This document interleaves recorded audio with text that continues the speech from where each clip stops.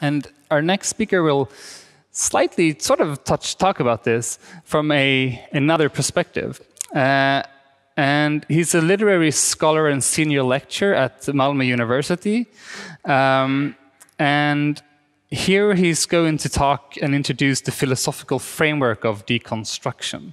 Uh, his name is Berndt Clavier, and I really want you to give him a warm welcome.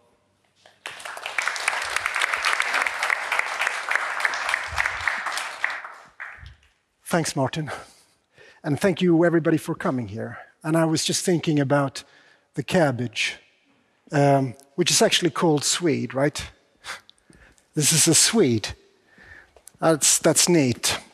Um, so, deconstruction, what is it? Um, it's, it's a word that is very famous. It's a word that is uh, very often buzzed around. And um, very often it just means that everything is falling apart or that things are not the way they ought to be. Things are deconstructed, they're, they're slipping away. Um, that, that is, that's what it means if you're a conservative. If you're a, a, a, a radical or a progressive, uh, deconstruction means simply critique. And, um, and, and that's how it looks in, in popular culture. Uh, deconstruction became uh, a real buzzword in the 80s and 90s, late 80s and, and, and early 90s. And there were um, brands that were called deconstruction, clothing companies that used deconstruction to, to, to sell their products. I, I think Newsweek in 1992 had a whole issue devoted to deconstruction. Um, but one of the, one of the moments of deconstruction in, in popular media that stuck to my mind was was the Woody Allen movie Husbands and Wives.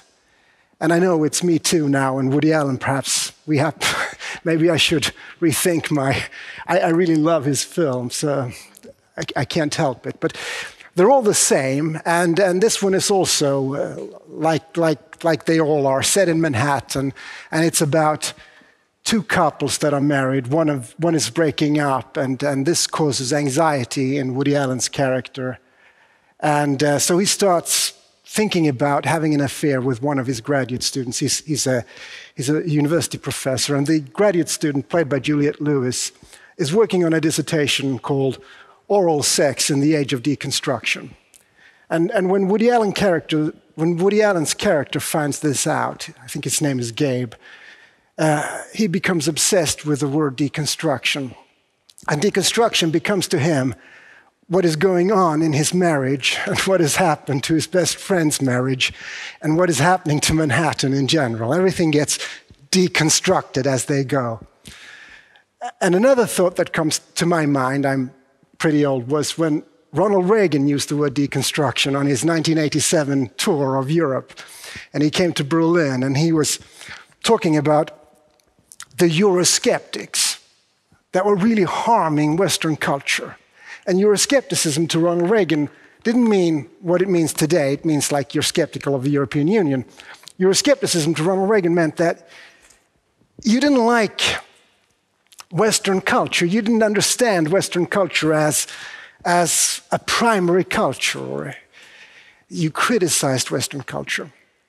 And, and, and Derrida's deconstruction was sort of named by Reagan as, as one of the problems of, of Europe. Uh, and, and, of course, the problem being even greater because it had spread to the United States and was now doing all kinds of harm in, in, at the universities, which, of course, Reagan knew very well because, as a governor of California, he uh, was very much uh, um, devoted to, to limiting the damage of, of radical university professors by, by making campuses in the woods in the redwoods so that they would be far away from cities and not cause the havoc that they caused in the 60s. So I'm happy to say that all these ideas uh, of, of, deconstruction have, have, very little to do with what, uh, what Derrida's work is all about. So I'm going to try to give you a sense of what I think is the essence of what Derrida is, is doing. And it's much more um, similar or in line with what we see on the walls here.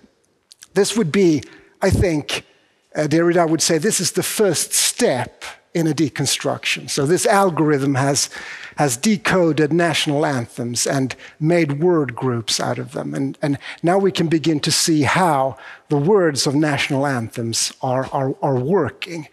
And uh, the next step in the deconstruction would then be to, to try to understand what that means and to spell that out.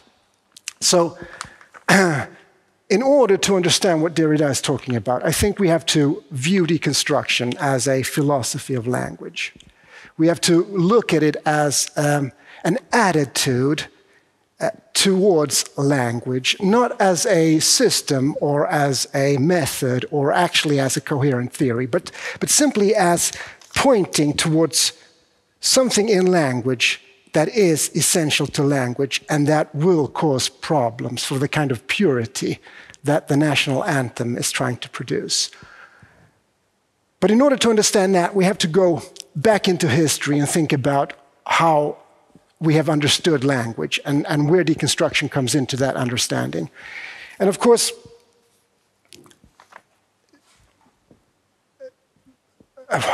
all human beings, all mankind, as long as there have been speaking people, have had thoughts about where that speech comes from. Right? And, and most of the foundational myths contain uh, a chapter on how mankind received language in almost all cultures.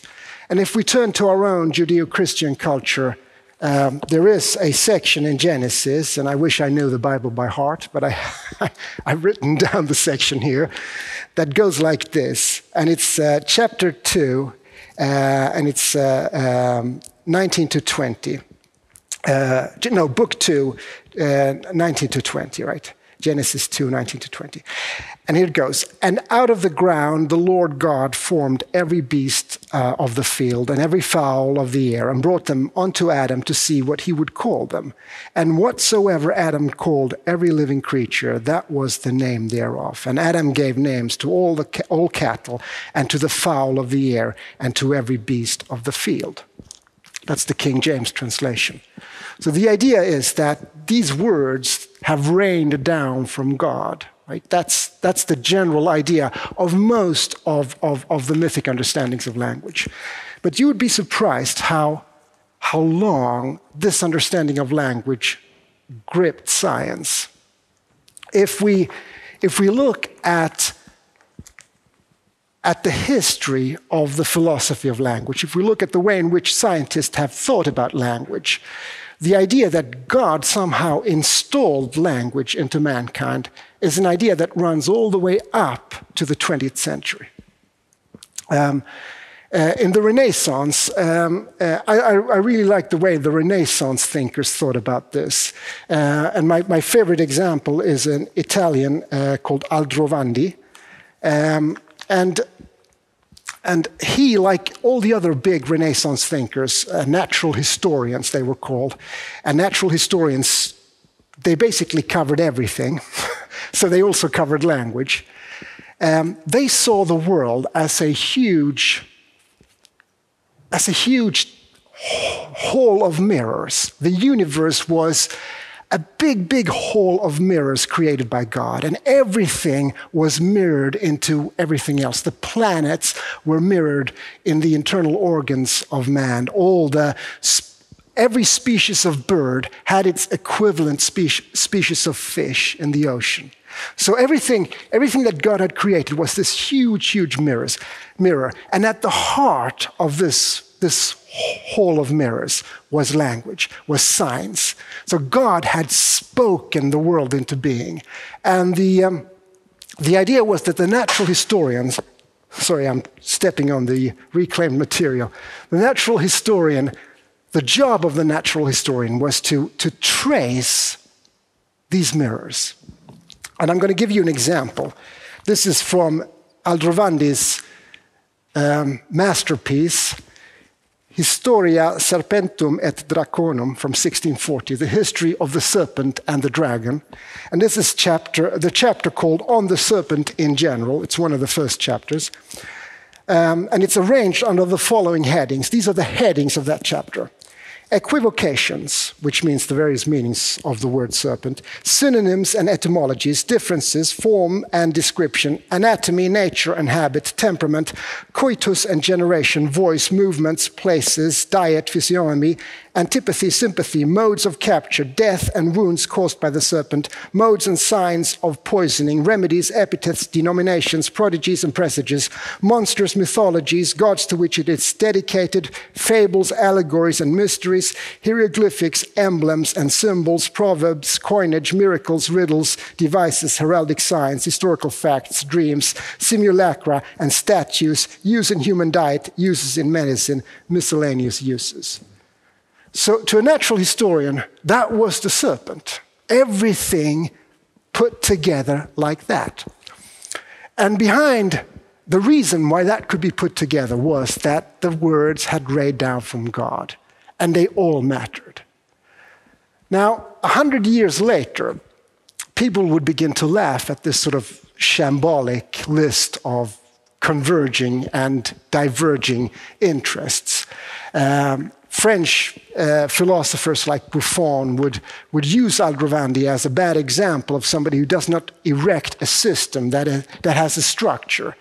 And um, perhaps the only Swede famous uh, internationally at this time was Carl von Linné, who produced this huge system of, of, of Latinate names for, for the flora and the fauna. And um, he too has, has coined a, a really interesting um, uh, um, aphorism. Uh, and he says in Swedish, uh, om man inte känner till namnen saknar man också kunskap om tingen. So if you don't know the names, you also do not know anything about the things. And this sounds nice, but it's actually meant to be taken quite literally. Linné devised the system of names in Latin uh, to, uh, to be, for us to be able to see the differences between the, the, the, the, species of plants, for instance. And he knew that the system was arbitrary, but he had the idea that it was only arbitrary now. At some point, God's system would be discovered. So it was just simply a working system, a kind of a, a, system to be developed into the system of God. And the dream that Linné had was, of course, that he would have a conversation with God about God's creation.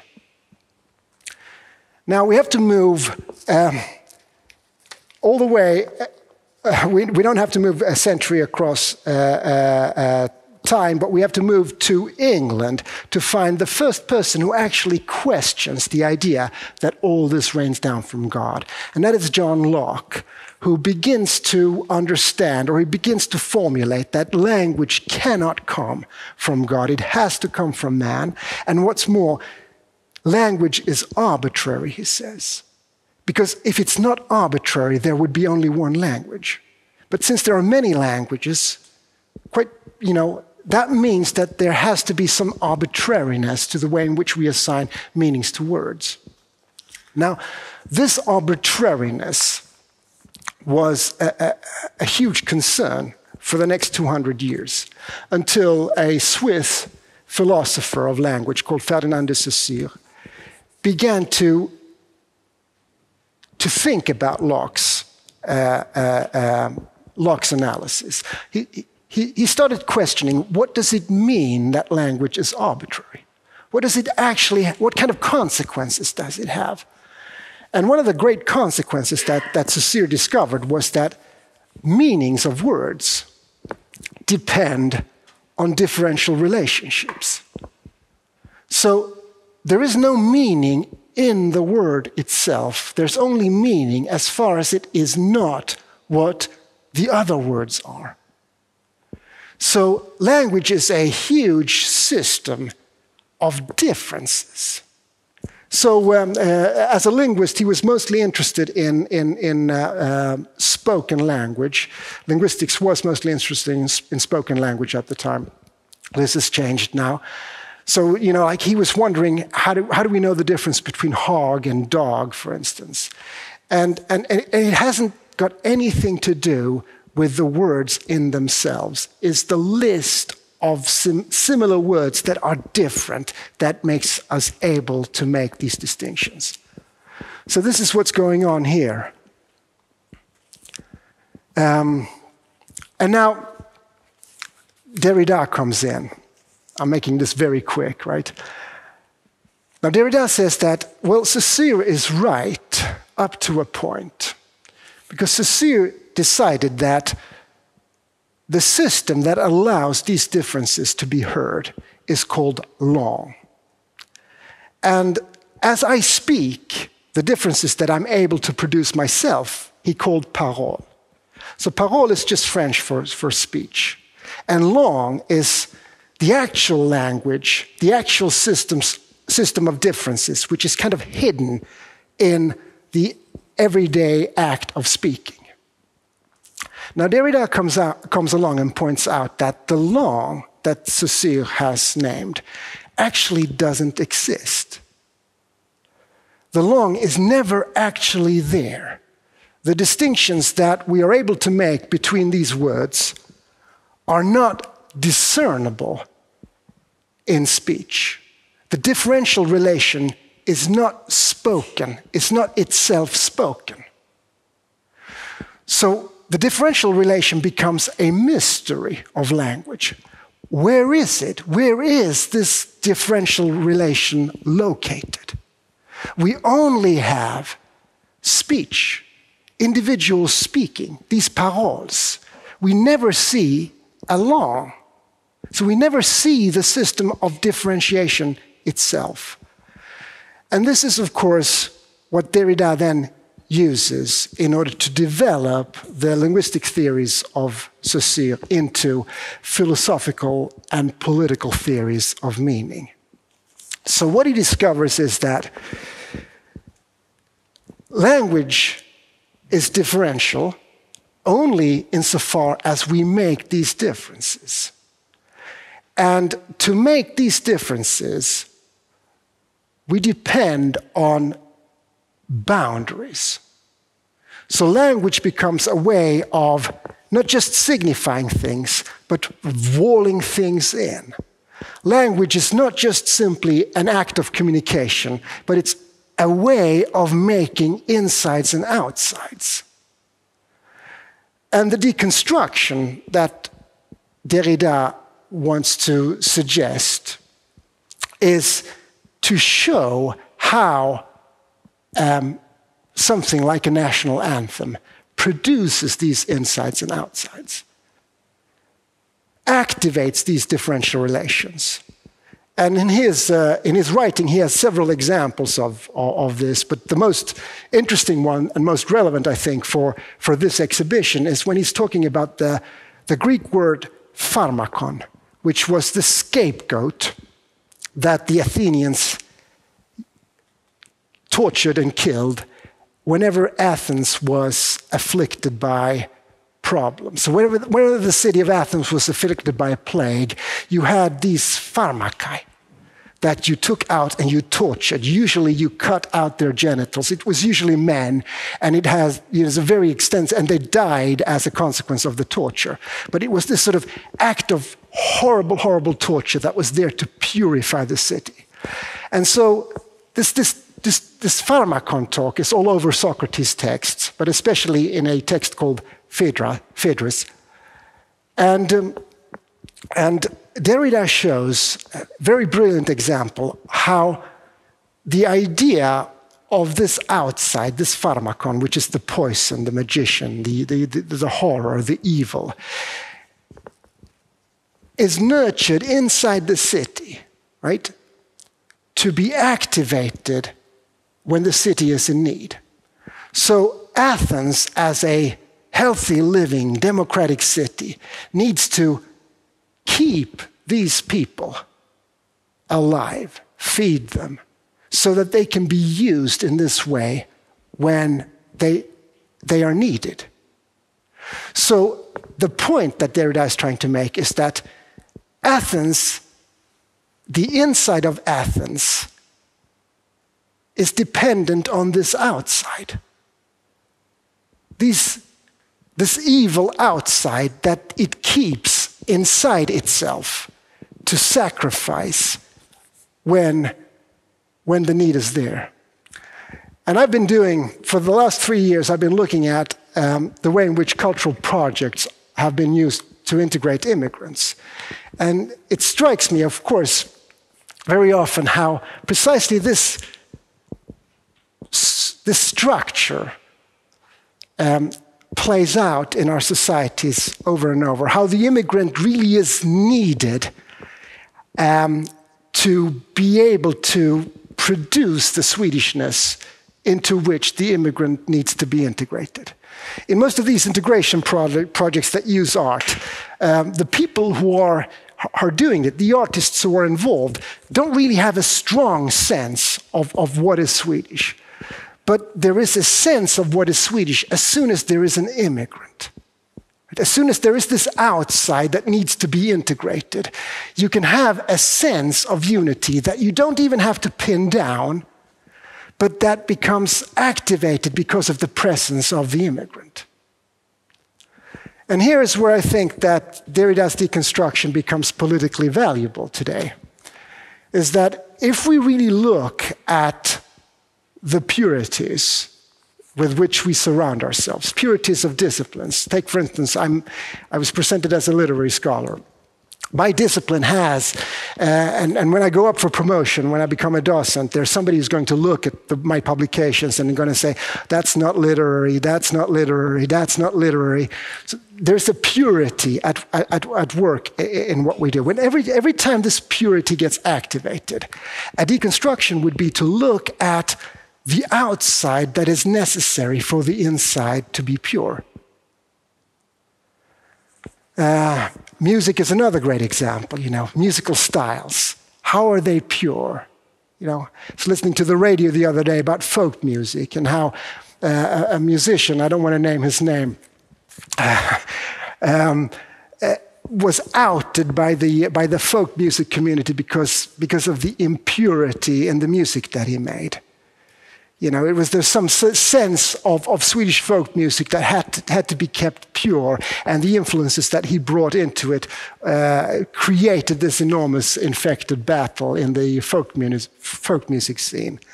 That, that's another example of, of, of these purities. And I think that the world is, is made out of these little purities that make us feel comfortable and it's this comfort that deconstruction, of course, uh, targets. And in that sense, Woody Allen is right that deconstruction is an anxiety pill.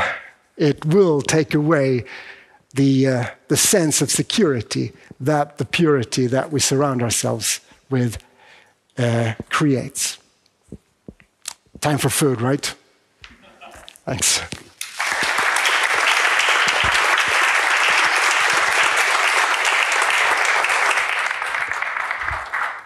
Thank you very much.